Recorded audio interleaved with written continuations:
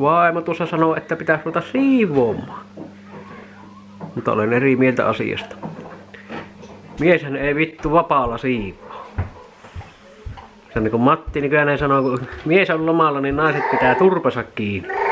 Vaimo sanoo tuossa, että minun pitäisi ruveta mattoja käärimään. Ja vitut. Minuahan ei kiinnosta vittuakaan mikään siivoushomma. Nyt on viikonloppu ja meikäläinen on tota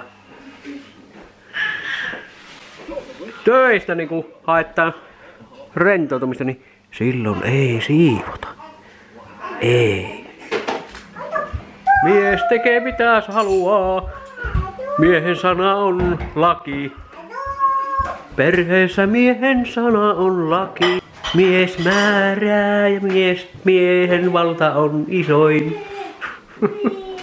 mies määrää ja miehen valta on isoin. mies määrää ja miehen valta on isoin. No, tämän kerran piti tuota mattohommiin tulla tähän, kun tuota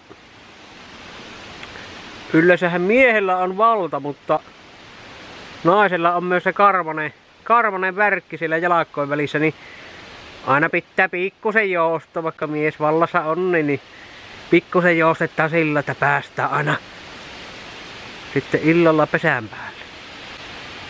Mä on hyvä juttu, muistakaa.